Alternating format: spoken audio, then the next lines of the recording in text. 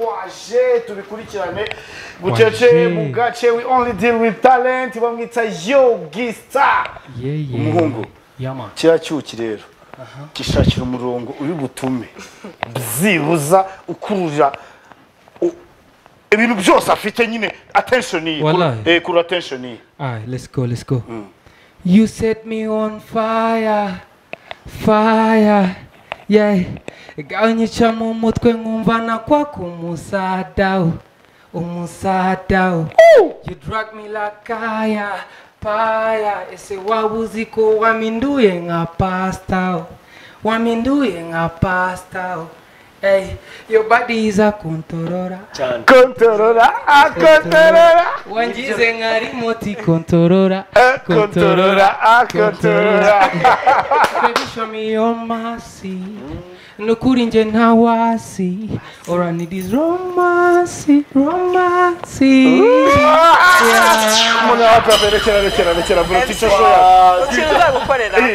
Nzazana hariya bamwita gute ah ah fifiraya fifi Uno oya se- uno se wazanye- wishyira kuri fifi raya ni uwa ni uwa oh nene wa wa undi wundi bamwita nde umwe wa dumba wundi yitwa nadia. Nadia. hari tutakoze se under the influence ntabwo we twayikubise nzamubwira ngo dimbisha ni ikintu niki kintu nshaka bro wari utumye muyango asinzira hano muri studio yo ibyo bintu ni formal ariko umuyango kumwemeza birago n'ibisazi ni ibisazi ntabyo uzi byorera uzi ibintu byinshi cyane. Ntabwo wakwemeza umusirimu ntabwo. biba byoroshye na gatoya so ni agaciyemo biba bimeze neza cyane twakiriye yogi star ni umuhanzi nyarwanda. Ah, ni new generation ufite icyo bita amaraso ameze neza cyane. Ah, twinjiriye mu karirimbo kitwa congolese. Niyo drop yawe ya mbere. Ya niyo drop ya mbere nakoze. Yeah. muya umbwire ukibona yogi. Niki kintu wahise uremarika so wabonye ameze nk'umu hip hop navuga ngo tugiye mu yanabibonye bwa Mba- mbere. ndabizi. Muyango rega ndamuzi kubera buriya yaravuze ati iki kirapa nano kiratwica. Uzi ukuntu nkunda noneho abantu ba wa bogeze kumbwira ukuntu babibonye bogeze oya bana. Niki niki barateye. Barate so muya Eh, ni- uh, ino new generation yacu uri kubona itaryoshye byatanye ewanyu ahubwo njyewe nshaka kumubaza. Watangiye kuririmba ryari? Kuririmba? Apana nyine gusohora indirimbo. Eh, Eh, kumva ko yo eh, kuririmba. Nakubwira iki se? Naho anahoze muri industry cyangwa se muri entertainment. Ibyo bintu na belonginze. Nk'uko uzi ngo hari abantu bakuze wenda urugero bari muri football bagasazira muri football. Yeah. Ibi ngibi nanjye ni byo bintu nahozemo nyine wowe uririmba na niba ntari kuririmba ubwo hari utundi tuntu ndi gukora tujyanye na entertaining. Na showbiz. Yeah. Okay wow. Ibyo ngibyo ni byiza cyane. Nanjye rata ndahita nkurikira ku kibazo nk'icya muyango Uh, n'iryari bwa mbere yogi yagiye muri studio aravuga ngo ngiye kuri kodinga njyewe nkore song? Kuko abasani hari igihe imirongo ibe ariyo muri dushe aba ari muri ghetto wenda yicaye akayiflowing ariko atarajya stu wagiye stu ryari? Okay 2018 2018 nagiye muri studio ariko nakubiswe n'inkuba. Eh, twaragiye turi muri studio. Ibi- ibintu biba biri muri studio biba bitandukanye na outside iyo wavuye muri studio. Twaragiye dukora benga ya danje nyine za zindi zari zigezweho tuvuga ko nitujya i bugande. Bazahita basa.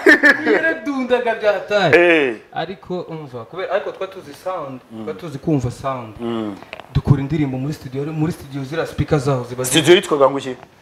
Ntazi Igo nubwo igo ai igo eyes ndayizi iyo muriga witwa musa dj musa. Mm, ndamuzi mugufi. wewe igikondo kunda nabaye igikondo Mm. Eh. ni nayo wari producer? Oya witwa uwari producer ni frank tamari yakoze irandirimbo ya kitoko yitwa gutera. Ya zamani yabaye hit. Mm, kitoko kwazikoze yazikoze nawe ndayibagiwe Mhm, murayikubise muravuga muti turatse noneho karabaye. Eh eh njye turi muri boya buretse ngo kitoko uwo Uwo mu- producer producer ni we wakoze aha keep good. Uwo mu producer ni we wakoze ingoma.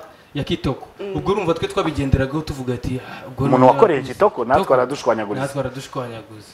Umva twakoze ingoma. Ariko muri studio yari nziza. Ariko nyigejeje iwanjye ku gaspika numva ni ibisazi. Numva sound ntabwo iri None kuza se. neza.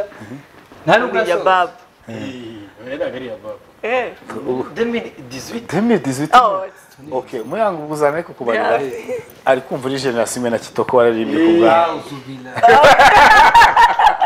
Sweet boy, Sweet boy. You don't Sweet boy. Sweet boy. Sweet boy. Sweet boy. Sweet boy. Sweet boy. Sweet boy. Nka nyuma icyo kigoma ntago yasohotse se iyo ndirimbo? Yara- ni ukuvuga ngo njye ntabwo nigeze nshaka kuyisohora. Ahubwo umujama twayikoranye noneho icyo gihe nitwaga nde? Mm. nitwaga Rahi- rahimu. Rahimu? Kucukucu numvaga nyine ngiye gukora ibintu bitabaho. Numvaga nzajya ndirimba abantu bakagwa. Urumva barashaka kwiyita babana bo mu bihinde. Eh, mu bihinde nara- naranarira za kucukucu za kucukucu nararirimbaga nkanarira uriya muntu noneho spiriti y'umuziki afite ariko gusa nyine tamari twarakoranye gusa nyine yari experience. Yatumye nyine numva exp experience? Okay. ntabwo sivuye sha muyanga ariyenze oya ariko nabonye azi kuganira nta ribi yahagaze ibintu byinshi ukuntu nabonye azi kuganira cyane ahubwo mu kanya ndamubaza nsoromera nsoromera what is that bro? Uraza kukubwira nyine uraza kwinjiza muri classe neza Ah, ndaza kumenya noneho language turaza kujyana kuri language. Gusa nahise nyine tamari ubwo nahise mvuga ati oya ntabwo nakomeza gukorana na tamari. Bandabiretse ariko nkajya ngenda mu studi- stu- studio duto dutoya nkavuga ati reka nihugure. Eh hari n'igihe kimwe rwose bigeze kugenda nakanganye bya tari nakundaga kwambara bya tari meze nk'umusani none ibiboro byinshi cyane. Eh umuproducer arambwira ati eh uriya muhanzi se nuwa hehe? Barambwiye ati tugiye kugerageza tujya tuguha indirimbo uhita utaba Eh, bakima ati none utubura umurongo. Nabiyemeyeho. Ukuntu nabiyemeyeho bigiye kugenda bite? Mbakubita flow eh mpita njya kwiga. Njya kwicara ndiga. Ariko nyine I came back strong urumva. Buri ibintu byose ni experience. Ubu wacu ukomeye. Ya. Niyo mpamvu mpita nkubaza ni congolese niyo boro cyangwa niyo ndirimbo reka mvuge indirimbo. Yaba yaragukoze. Uh, uh, okay. Right now I'm I'm the best ever. Ntago I'm not competitive nyine ntago ushobora kuvuga ngo yogi umufashe umugereranyije n'uyu muhanzi kubera ko I'm alone. Ndi imbuto imwe ndi igiti kimwe kiri kuzamuka. Gusa Congolese ni indirimbo ya- ya- ya- yatumye experience yanjye izamuka. Indirimbo ya- nakoze nyine nyikunze mbonye ishyize hanze abantu baranayikunda mm. ese yogi bisobanura iki? Yogi ni izina riri specific abantu bakwita bitewe n'udukoryo twabo udo? Eh, n'ubu waba yogi. Mm. Eh, namwe ngo yaba yogi. Eh, eh eh, muyango ni yogi kabisa yogi. eh. Ni kachala. Uzi umuntu anyibukije simba sha. Simba. hariya mu biryogo eh. Simba. Simba baramufunze simba baramufunze. Oya sha yakoze iki? Simba baramufunze. Simba wanjye cyangwa simba wese. Simba yego sha. Não, Dubai, Dubai. Ei, eu achava que vai arco no. Olha o eu, olha o eu. Olha. Olha Igor, yakunda nyebitariseri. Alijo yagara. Oya, nshamwe. Muya reka tugume ku bahanzi. Zokora sura muzi. Zokora. Zokora est oya ntabwo zokora muzi. So abazisimba. Ahubwo ngenzi zokora. Oya. Zokora abobana usajja babaza embi blues ubabaze I'm 18 years old. Acyari mutoya. Ibaza abantu bo muri 1900 sikumbuki. Ganga yaba beja byaje. Ubaze. Yogi. Azaba me. fazer uma Okay. Eh, Yogi ufite umaze kora ingoma zingahe zifite ama video? Abo right now I think ni eshanu. zifite na video zose ziri kuri trend zimeze neza Ziri kuri training ngoma zifite umwihariko wazo. tujye ku nshyashya Ishyashya yo ifite umwihariko wayo nanone Yitwa? utandukanye n'izindi yitwa You. you Mm, Ariko ni ni indirimbo iri kuri EP yanjye yitwa Why Not Me. why not you Yego. none se tubwireho gatoya kuri you Kuri You. Mm, gatoya ubundi DJ Trick ayereka abanyarwanda You ni ni mu- ni ni ngoma nanditse neretswe. weretswe ya ni inspiration nareretswe ba njya kuri ndayikora natana yanditse weretswe muri buryo weretswe mu buryo so oh aba artiste turerekwa ndetse ntabwo ujya werekwa njyewe ntabwo nkaba- waje muri show wallahi ubugezi none iki show ari ya mbere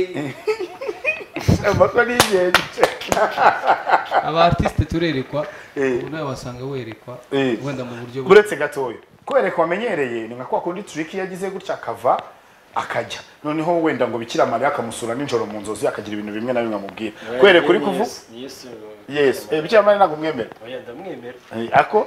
Ariko okay yesu akamusura urumva nko mu ijoro akamubwira ati turiki rwose eh, n'ikimenyimenyi ah, very soon urabona amanota. Oya mani Batanyimye nawe wareretswe gutyo gutyo. Nta jwi Eh. ryari ryaza rikakujyamo rikavuga ati uno munsi uze kugenda wenda i Remera.